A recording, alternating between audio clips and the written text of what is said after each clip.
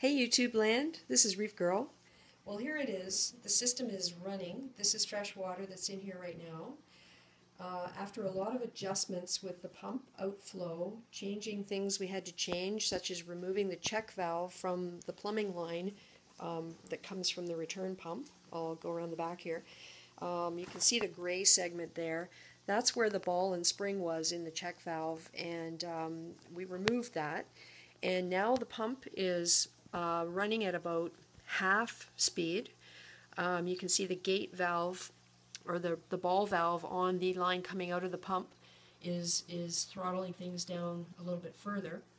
So that solved the problem we were having of not getting enough flow to the upper part of the tank after all of those 90 degree elbows. Really, it was just the check valve that was causing the problem. If anyone has that kind of an issue, that might help you. Also, the strength of the pump was in fact plenty to do the job. It was just that valve that made us wonder if we needed a new pump.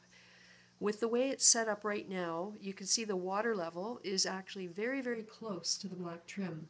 And I'm very happy about that because I was wondering whether I'd have a problem with the water level being so low. We were talking about ways to cover that up, and really this solves the problem.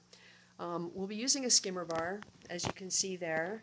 I'm sure I'll be in there with a toothbrush every day, uh, trying to make sure that there's no um, detritus or creatures blocking those slots because that's where the balance of the system comes in. We have to make absolutely sure the overflow doesn't get restricted in any way because if it does, then we're going to have the top tank overflow because the pump is going to be pushing too much water in.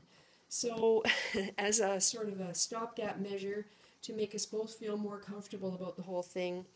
When this goes in our dining room, which is um, where we're going to be putting it beside the other tank, we're actually putting it inside a large plastic flat tote. It's one of those underbed storage things, and the holes have been silicone shut, the wheels have been removed, and that's where we're setting it on four little blocks of wood so that we don't have issues with rust happening at the bottom of the metal stand legs, which always seems to happen. Um, that's what we're going to do to make ourselves feel better about the potential for overflowing of the top of the tank. The other thing we're doing is we're mounting the power supply on a switchable power bar where each outlet has its own switch.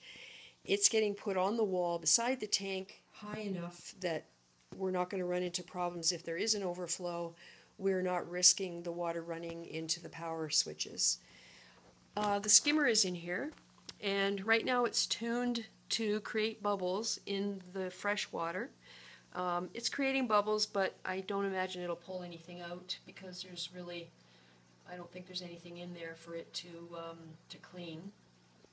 We had an issue with noise and solved the issue by putting those sponge filter insert things, cutting them to shape, and those are actually just around the bottom outflow of those pipes so that when the water comes out, it's um, kind of dampened down the gurgling of it by those sponges. We still have the filter sock operating, and in the refugium, again, it didn't make much noise, but it was enough to be noticeable, and it doesn't impede the flow at all uh, because it's uh, at the outside of the pipe and not covering the bottom of it, the, the opening. Uh, so that's how things are right now, uh, running with fresh water. We're going to run it for a day and see what happens with the water level up top.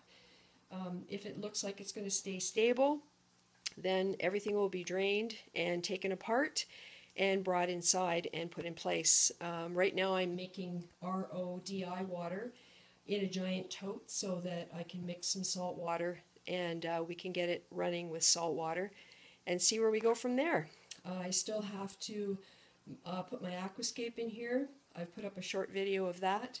And uh, once that sand is in, uh, cleaned and in the tank, and the rocks are in there ready to go, um, hopefully by then I'll have enough salt water made up that we can put the salt water in and plug things in and power it up and see what happens. So it's getting kind of exciting. We have a couple of problems to solve.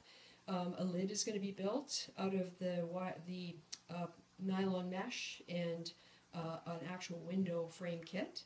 And the other issue I'm going to have is with a light. I don't think I can use either one of my current lights because there's no way we have to hang them the ceiling above where this is going to be is on a on an angle and goes up to a peak in the middle and we really are reluctant to hang anything up there. Um, it's going to be hard to figure out where to put it. So I think I'm going to be getting something on a gooseneck or on that's going to be mounted on the tank. I'm not quite sure yet what what I'll actually get, but that's going to be some research and shopping that I'll have to do. So there you go. Any questions or comments or um, advice? Happy to get it. And we will see you next time.